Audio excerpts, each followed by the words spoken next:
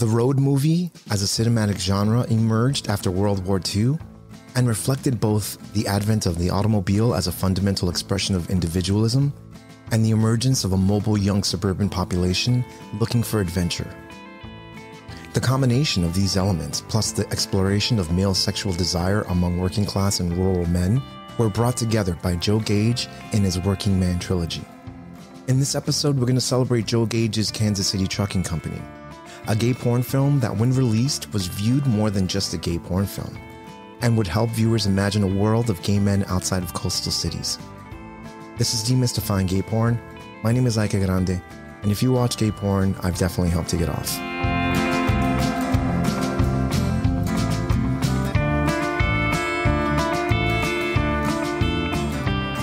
Before we continue, I want to remind you that you can help this channel and its original yet risque content by liking, clicking the subscribe button, or selecting the bell icon for notifications to see more content like this. And for all you podcast listeners, leave a review or rate it if you can. Thank you.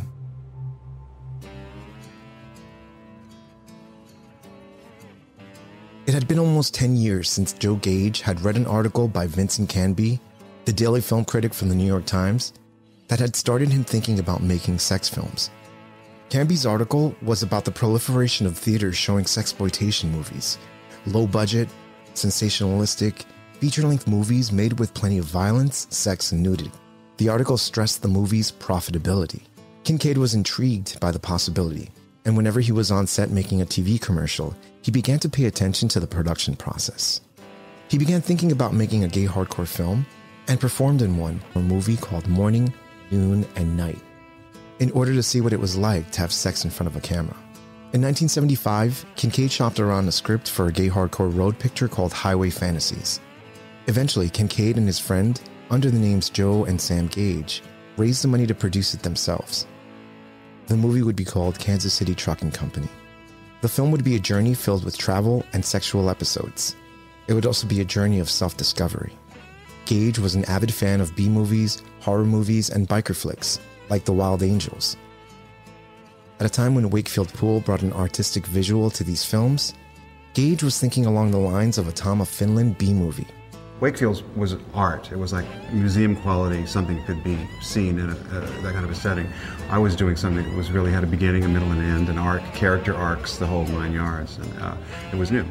And at a time when the US was seen as New York and Los Angeles, Gage wanted a desert filled with cactus, open land, and of course, cowboys.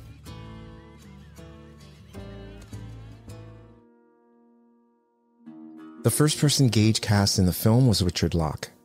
Gage had seen him in a poster for a hardcore film called Pool Party at the Adonis Theater and said, That's Hank. Locating the actor, however, proved very difficult since Locke was out in the desert, living in a shack with no running water, a generator for electricity where he was building a geodesic dome. Richard Locke was a essentially a desert rat. He lived out in the uh, uh, out in the desert in Palm Springs. Gage was surprised to find the clean-shaven Locke now had a full, thick beard with gray on both sides. Locke offered to shave his beard before starting the movie, but Gage told him not to. Gage would then cast Jack Wrangler because the camera loved him. He was an animalistic sexual being. When they set up their interview, Wrangler walked in and told Gage, You're shocked, right? When Gage would ask why, Wrangler said, Because I'm so short. That didn't bother Gage, who considered Wrangler one of the most professional, courteous, and agreeable actors to work with. In casting the part that would go to Steve Boyd, Gage went to San Francisco and interviewed guys at Wakefield Poole's place. Steve Boyd was a garbage man, worked for the uh, worked for the city pulling garbage. Boyd walked in with a friend who had one credit in the industry to his name. However, he was hesitant to appear in another film since he was under the impression that a record executive friend was going to give him a recording contract. When Gage heard that, the part went to Boyd. The truck was rented from a trucking company, and they needed a guy with an 18 wheeler license to drive it. When they didn't have money to rent the entire truck, they would just rent the cab. The other people besides the, uh, you know, the, the, the, sort of secondary group of performers were just people we knew or people who knew people who said, you know, can I do this? Can I be in this? I just want to do it.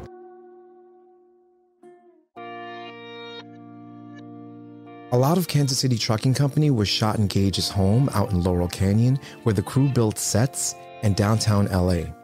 Other shoots were in the desert.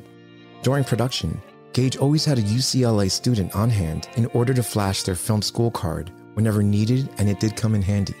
At one point, one of the scene's footage was lost when a camera jammed up. While thinking about what to do, Boyd, who was in the scene, told Gage, Just give me 10 minutes and I'll be good to go again. For the direction of the film, Gage has said not one bit of it was improvised. Every line was scripted.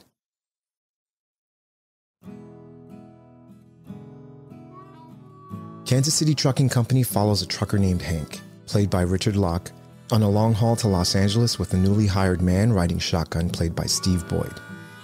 Jack Wrangler plays the dispatcher. He and Locke have a quickie before Locke goes on the road. The straight man, played by Boyd, is dropped off by his girlfriend and has sexual fantasies of Wrangler as they drive to Los Angeles. Along the way, Locke and Boyd fantasize, experience flashbacks of sexual fantasies, or pass by a number of sexual encounters on the side of the road. At the end of their journey, they both join in an orgy at the trucker's bunkhouse in LA.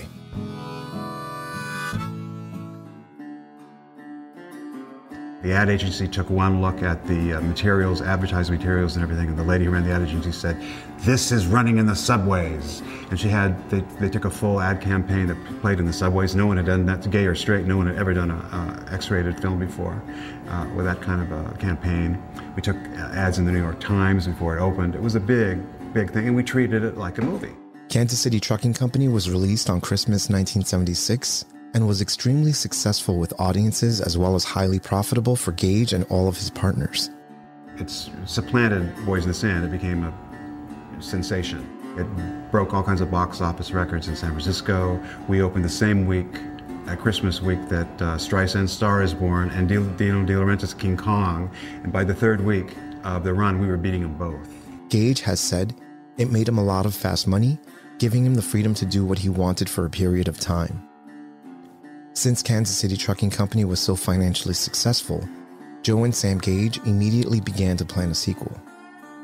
A year later, Gage released El Paso Wrecking Corps.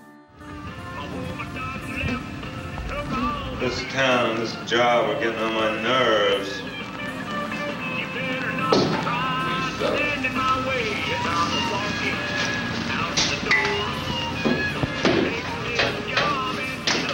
One more three-day layover like this one, and I got half a mind to get in that pickup and head out. You got half a mind, period. A year after that, a third film, L.A. Tool and Die, was released, starring Will Seagers as Locke's love interest as well as Casey Donovan. Hi, where you going? Not too far. Can you help me out? Oh, sure thing. Hop in.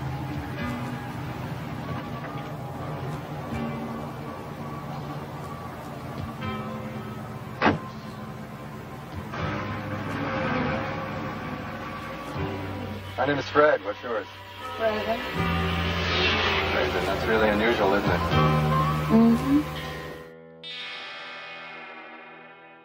The emergence of gay identity as a political concept and as the focus of political organizing was taking shape in large cities with large lesbian and gay communities.